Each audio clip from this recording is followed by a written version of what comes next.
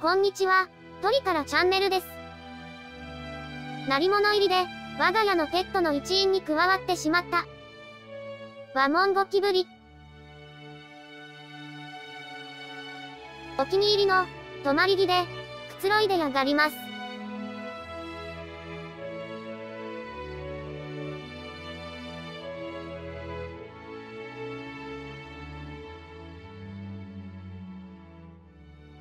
少しは動けよ。うん、正真正銘の G ですよ。あ、動いた。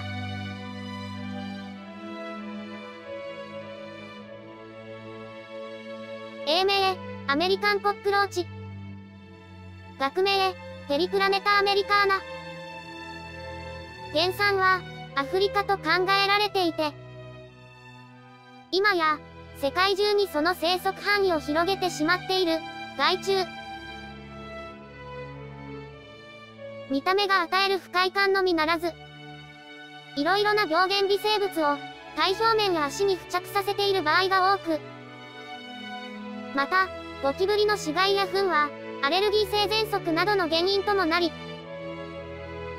実際、人に対して多くの健康被害を与えているのです。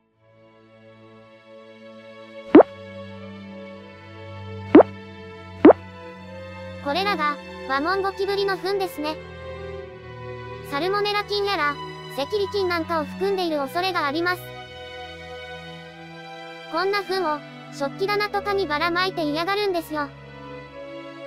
こまめな掃除って、大切ですね。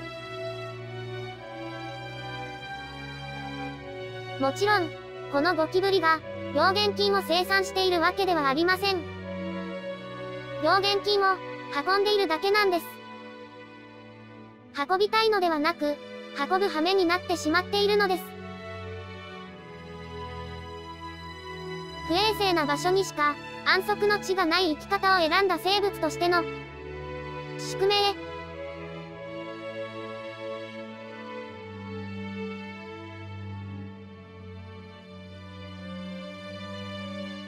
ワモンゴキブリの飼育環境ですが、床材は、ラビットフードを砕いたものを敷いて、餌として、消臭剤として、足場として、機能させています。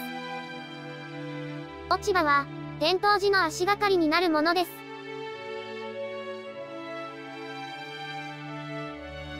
昆虫ゼリーを常備して、いつでも水分補給ができるようになってます。あと、時折、人参やグラブパイを少量与えています。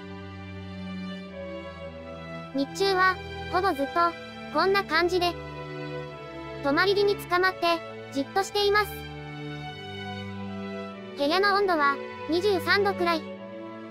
若干、活動しにくい温度なのかもしれません。もともとは、熱帯地域に生息していたらしいからな。このワモンゴキブリ、気温が20度を下回ると、活動が相当に鈍くなるとのこと。寒いと、卵の孵化も、起こらなくなるのだそうです。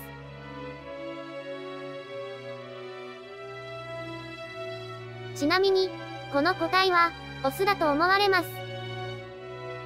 腹部の形がスレンダーで、厚みがあまりありません。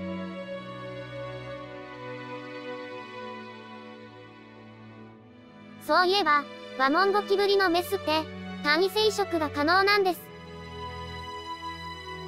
メス1匹いれば、増えるんですよ。